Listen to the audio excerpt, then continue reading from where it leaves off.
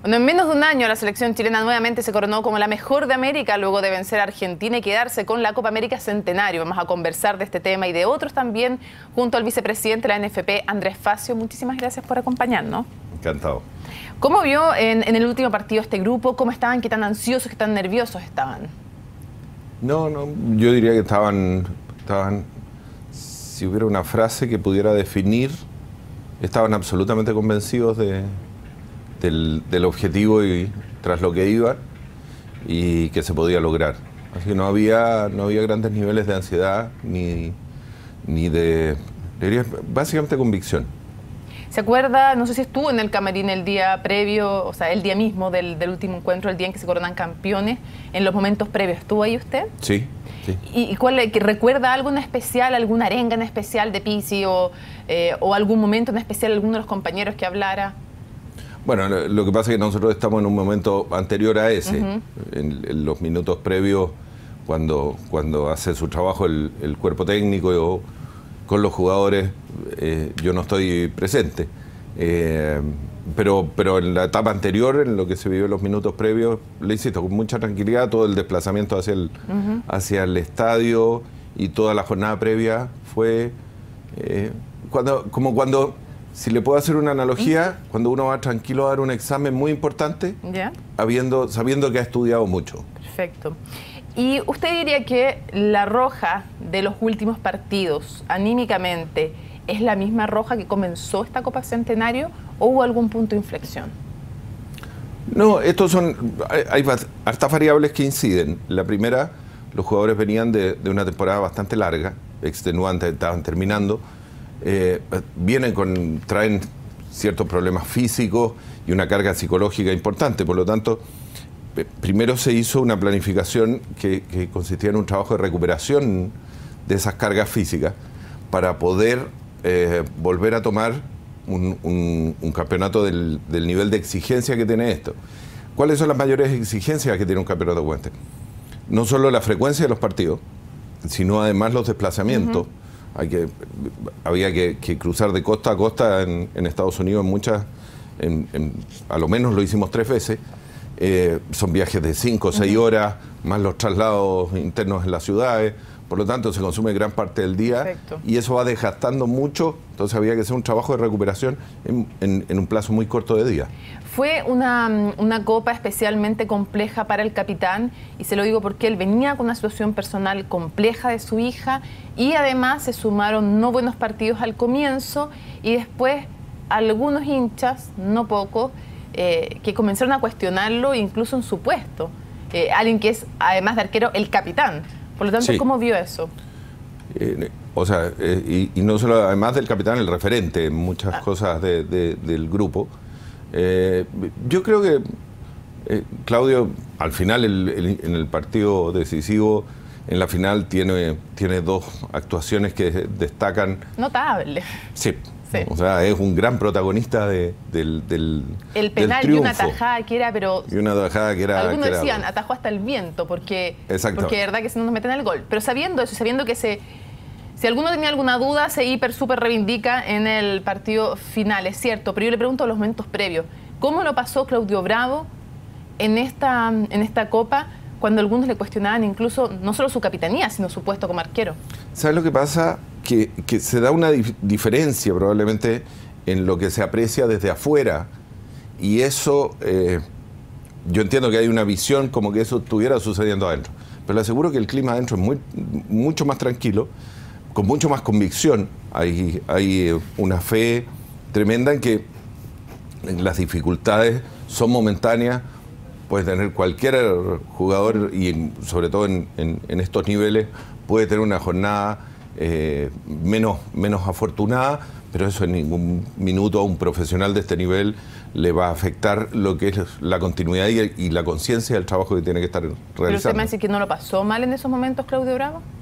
Yo no vi a un Claudio Bravo de ninguna manera eh, en su estado anímico, en su convicción, de ninguna manera afectado. o sea, esto es un grupo que, que además, eh, entre ellos mismos y los que participamos dentro de él, acá hay una gran labor de un cuerpo técnico que, eh, y un staff que está detrás, que no es menor. Entonces, un grupo que rápidamente en, las dificultades se une y, a quien esté afectado lo va a tomar, lo va a coger, lo va a cuidar y, así van saliendo eh, adelante cualquier dificultad. The Guardian cuando hablaba de este grupo de depredadores, elogiando a la selección chilena diciendo que era la más peligrosa eh, de Sudamérica, eh, lo cual no es poco decir cuando estamos en el mismo continente que Brasil y que Argentina, ni más ni menos. pero lo que decía The Guardian cuando hablaba de este grupo de depredadores refiriéndose a la roja es que no eran lobos solitarios, que eran lobos que trabajaban en manada. ¿Cómo ves también ese factor específicamente en qué tan importante es en la roja?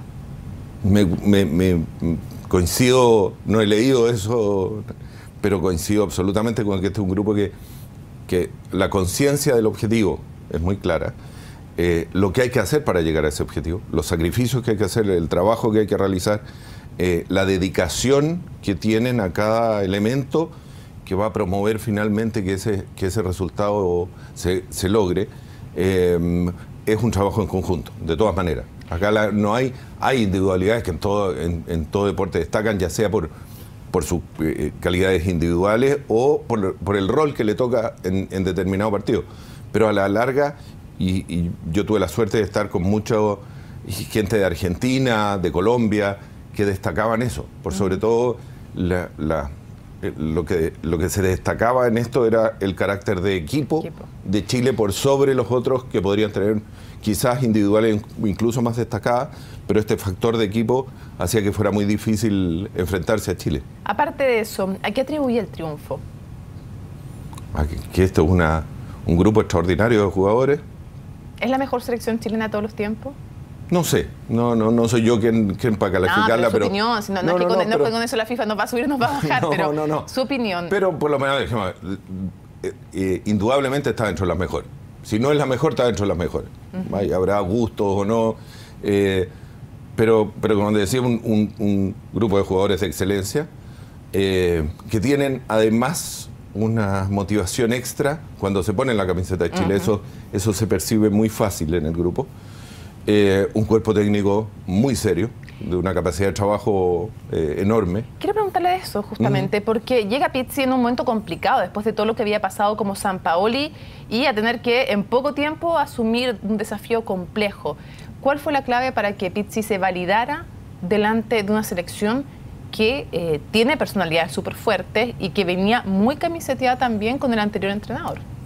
Yo creo que hacer, hacer eh, tomar este elemento que es que el grupo es muy importante y que el grupo funciona bien cuando, cuando está en, esa función colectiva.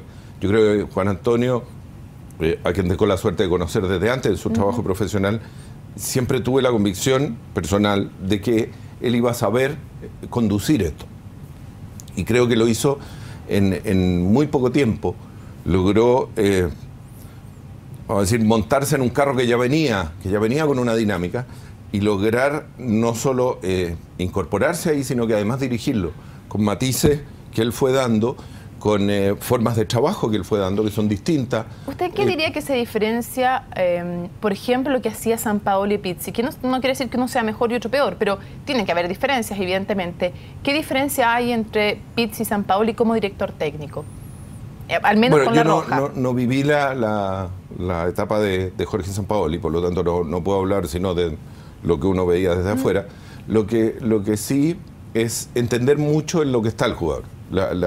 esta labor de, Juan Antonio que me tocó observar en este mes, entender en qué está, cuáles las dinámicas de trabajo que hay que hacer de acuerdo a la situación en que, en que se está. Eh, son jugadores que dado la carga que tenían y la intensidad de esta competencia, tenían mucho riesgo de eh, tener lesiones. Tener lesiones en un en, un, eh, en una copa de tanta intensidad y con, con, un eh, lapso de tiempo tan corto, prácticamente es, amagar muy seriamente las, pretensiones que uno tiene. ¿Usted diría que es alguien que cuidaba un poco más em, o arriesgaba menos físicamente a los jugadores, por ejemplo, que San Paoli? Porque es algo que le he leído eh, a varios entendidos en el tema. Yo no soy entendida, por eso lo pregunto.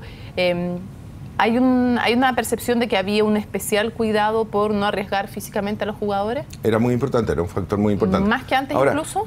Es que la comparación no, no, es que quiera evitar su pregunta, pero primero porque no tengo los elementos. Y segundo. Pero habrá escuchado dentro de la NFP. Pues. Me refiero, pero me voy a referir exclusivamente mm. porque tiene una cosa además circunstancial del tiempo. Mm. Vienen de, terminar campeonatos que en Europa son, son eh, con cargas de trabajo muy altas. Entonces ahí indudablemente la, preocupación por el jugador era, era relevante. ¿Pizzi está asegurado hasta cuándo? No, en el fútbol no hay seguro. ¿No? No, todos sabemos que esto no, tiene eh, condiciones garantizadas. Lo único eh, importante es. Eh, Pero se vuelve más, después de esta copa, ¿se vuelve más difícil de retener Pizzi o no? ¿O usted lo ve más comprometido al contrario, con más ganas de estar no, yo lo veo más comprometido, sí. No, si el objetivo final, y siempre lo diseñamos así, es llegar al Mundial de Rusia en el, en el año 2018. Pero se vuelve más apetecible Pizzi como entrenador. Pero eso será después del 2018. Ojalá o no. Sí. Pero nada es seguro, dice usted. Es que en el fútbol no hay esa certeza. Y una pregunta, ¿él tiene cláusula de salida en su contrato? Sí, claro. Cualquier, cualquier entrenador y cualquier eh, en, esto que son contratos de plazo definido tienen cláusula de salida. Ahora, no siempre se cumplen como en el caso de San Paoli. Pueden no cumplirse, pero, pero en este caso eh, están y son bastante más... Eh, más racionales que las que yo pude ver en, los contratos anteriores. ¿Le parece que no eran racionales las que tenía San Paoli? ¿Por qué? Porque eran sobredimensionadas, porque no corresponden a la realidad económica de, nuestro medio, porque creo que se produjeron en minutos de, un desorden se le, cobraban, perdón, para entenderlo bien, para no malentender lo que usted me está mm. Porque las cláusulas de salida de San Paoli eran demasiado gravosas para San Paoli? No. O porque eran... Ya. ¿Qué cosa? Fueron, acuérdese que fueron cambiando y mutando en el tiempo. Pero la salida, o sea, echarlo era muy caro. Sí. Ya, demasiado caro. Sí, porque... Irse no tenía tantos costos. Irse, ¿Mm? no, pues al final eh, eh, esta mutación de los ¿Mm? contratos fue eh, minando... Normalmente estos contratos hay una igualdad, ¿Mm? porque se entiende que hay un plazo fijo y que pueden ir surgiendo ya sea como en el caso de Juan Antonio ahora, ¿no es cierto?, que tiene una valorización mayor, o al revés, si él, tuviera un, o cualquier técnico tiene un, periodo de malos resultados, hay un cierto equilibrio entre las dos. Eh, eh, acá lo que pasó es que eh, se fue poniendo más gravosa a favor de uno y se fue desmereciendo el activo que tenía la otra, que en este caso era la NFP. O sea, se fue desnivelando la cancha en favor de San Paoli y en perjuicio de la NFP. Efectivamente, sí. En una medida que a usted le parece excesiva. En una medida que me parece hasta irresponsable. Hasta irresponsable. Y le digo por qué, porque por la sucesión de los contratos. Mm. O sea, no cautelaron lo que significaba el acuerdo marco inicial. Y fueron, se fueron aprovechando circunstancias, de manera que fue una enriqueciendo su posición en, pos del debilitamiento de la otra. San Paoli, cuando se... la irresponsabilidad, le, remarco el término y, estoy convencido que es una irresponsabilidad, porque quienes firman por la NFP, su deber mayor es cautelar el patrimonio de esa institución. En la medida que uno va desmejorando la posición de la institución, por circunstancias puntuales, lo que está haciendo es una irresponsabilidad respecto de la cautelación del patrimonio. ¿Y firma solo el presidente de la NFP estos contratos o más gente? Eh, hay firmados por... Eh, no, por, por el presidente y directorio. Finalmente, bueno, los últimos se producen cuando, cuando ya el expresidente había salido. En concreto, ¿quién, quién firmó esos contratos de San Paoli? aparte aparte de Jadwe Varela también o de alguien hay, varios directores, sí. ¿Varela entre ellos? Eh, no lo recuerdo con precisión. Ya, pero varios, directores, además de Jadwe. ¿Y usted le parece que todos ellos fueron irresponsables? Hubo una irresponsabilidad, sí. Colectiva, no solo de Jadwe. Sí, efectivamente. Y, entonces respecto de la declaración que hace Jorge Sampaoli, nos vamos a después vamos a volver nuevamente al tema de la roja, pero aprovechemos que ya estamos en este tema. Eh, respecto a la declaración que hace judicial frente al fiscal de alta complejidad de la zona metropolitana Oriente, eh, Carlos Gajardo, declara eh, Jorge Sampaoli y dice que fue Jadwe el que le pidió, y específicamente fue la NFP la que le pidió estas sociedades externas para no pagar tantos impuestos, a lo que sabemos que es, si no evasión, elusión tributaria. Em, ¿A usted le parece incorrecta esa forma de pedir que, se creen sociedades afuera para pagar? Bueno, nosotros no lo hemos hecho. Los contratos que hoy día tienen el, cuerpo técnico están radicados en Chile los impuestos se pagan en Chile, se enteran como, como cualquier contrato de cualquier empleador eh, dentro de este país. ¿Y si le pidieran... En absoluto. Deposítame afuera o quiero pagar... No hay ninguna posibilidad. Ni una posibilidad. ¿Y con los jugadores? Es que los jugadores eh, de la selección, los jugadores de la selección, recuerde que son contratados, tienen sus clubes. Con, hay una, está bien, pero como jugadores de la selección... Declaran sus impuestos absolutamente. Mi pregunta es, todos los jugadores de la selección chilena, el contrato que tienen con La Roja, sí. Es con sede en Chile y se tributa acá? Le vuelvo a repetir, no hay contrato con La Roja, no existe. Pero los premios que le dan. Por eso, hay un contrato de premios. bueno, a eso me refiero, lo preciso. Es, una figura distinta. Ah, ok, lo preciso. le formulo la pregunta de nuevo. los premios que la NFP le paga a los jugadores de La Roja. Se pagan en Chile y se tributan en Chile. en Chile y se tributan en Chile. ¿No se les depositan en sociedades en el extranjero? En absoluto. ¿Está prohibido? Sí, no, no hay. Ya, me da seguridad eso, por lo menos en esta administración. Todas, todas son eh, con, eh, con boletas en, en, Chile. Cada jugador tiene su situación tributaria distinta. Los que juegan afuera, yo, no la conozco en detalle, ¿no? pero eh, respecto tanto de los que tienen eh, tributación en el extranjero como los que tienen acá, están todos sujetos y acogidos dentro de la legislación chilena. Ya, pero se tributa acá, me dice usted, todos, los, no hay, premios. No hay pagos. No hay pago en sociedad. no hay pago negro. No hay pago negro.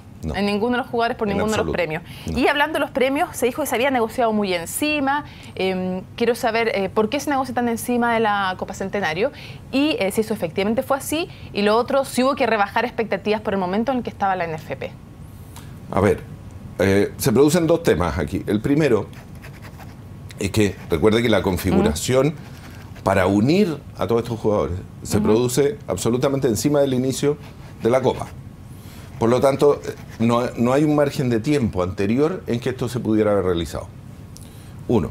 Dos, y lo digo categóricamente porque se, surgieron varias versiones al respecto, en ningún minuto eso, esa, esas conversaciones respecto de los premios respecto de esta copa alteraron ni el trabajo, ni la concentración, ni la motivación, y creo que eso se demostró a la ¿Y tuvieron que moderar las expectativas ellos o no por la situación de la NFP? Eso, son acuerdos que son eh, dentro, se toma todo el, eh, todo el escenario, y yo le diría que son, no, hay yo creo que cuando los acuerdos llegan al final es porque ambas partes quedaron ya, satisfechas. se lo pregunto en otra forma, sin decirme monto porque no los va a decir. En absoluto. Eh, lógico. pero son premios más modestos que los que pagaba Howell, ¿no? O menos generoso? es que yo no, no creo. Son más, son, déjeme ponerle otro, otro, adjetivo. Eh, son más reales. Son más reales de acuerdo a los ingresos que, se, que, que están y a lo que eh, entendemos las partes que corresponden a todos los actores que concurren a, esta, a estas ganancias. Oye, ¿La Roja jubiló a Messi? No, no. No, yo tengo profundo respeto, no solo por, por la selección argentina, no solo por, por, eh, por Leo Messi, creo que están pasando por un momento muy difícil, eh, pero tengo un tremendo respeto. yo no me atrevería a calificar eso así. ¿No debiera retirarse? En absoluto. Creo que es un tremendo jugador. Em, este equipo que usted coincide que juega como equipo, que no siempre es una redundancia. Déjeme, déjeme la interrupción. A propósito de lo que salió cuando, cuando mucho con Claudio Bravo. Es que por eso me acordé de Bravo y Messi. Sí, creo que no hay que caer en eso. Ese juego eh, de, de, transformarnos en tan exitistas y mm. que ahora tenemos que ganarlo todo porque si no somos pésimos. Eh, y, los ataques que sufrió Claudio Bravo por, por dos infortunios que los tiene cualquier jugador de cualquier nivel en el mundo. Esto es deporte, entonces no, no hay. Eh, a prueba de errores no existe. Eh, nos tiene que llevar a una reflexión de que, de que a, buenos jugadores tenemos que cuidarlos. Y yo digo, no, en el sentido de cuidarlos, eh, que se me entienda como el sentido de, no estar expuestos a una presión siempre, de que o son, o, Claudio Bravo hace el partido que hizo en la final contra Argentina, o si no es un desastre. Eso no es así. Perfecto. Y para cerrar, eh, un equipo que juega como equipo, lo cual no siempre es una redundancia en, en, fútbol. Em, pero además uno donde hay gente de todo Chile, em, gente de distintos estratos económicos, gente muy humilde también en su origen y que logra surgir. O sea, eh, una encarnación de alguna manera de la meritocracia. Eh, sí. Claro, porque uno se pregunta si, si estuviéramos en otro plano de la realidad, en otras profesiones, si es que uno podría ver esta meritocracia en que hay de todo en la selección chilena, de todos los sectores. ¿Qué tiene respecto de ese punto de la meritocracia también que enseñarle esta selección a nuestro país? Y déjeme agregarle un punto a eso de, los valores. Nosotros estamos empeñados eh, en que la forma también importa. Lo decía hoy día Arturo Salada cuando, cuando llegó, decía eh, en una metáfora, decía, este equipo no ganó metiendo ningún gol con la mano. Lo que quería decir Arturo es que se hizo, se hizo todo. Nosotros no hablamos con árbitros, no tenemos reuniones eh, secretas para hacer cosas. Se da en, la cancha como se tiene que dar. Si, si nos va bien, entendemos que es el fruto de nuestro trabajo y el esfuerzo de los jugadores y el cuerpo técnico. Si nos va mal, es el infortunio que toca en el deporte. Y para poder celebrar un triunfo, creo que es muy importante saber eh, eh, conducirse en la derrota, porque también nos va a pasar. Señor Facio, muchísimas gracias por habernos acompañado. Encantado, María. Un gusto.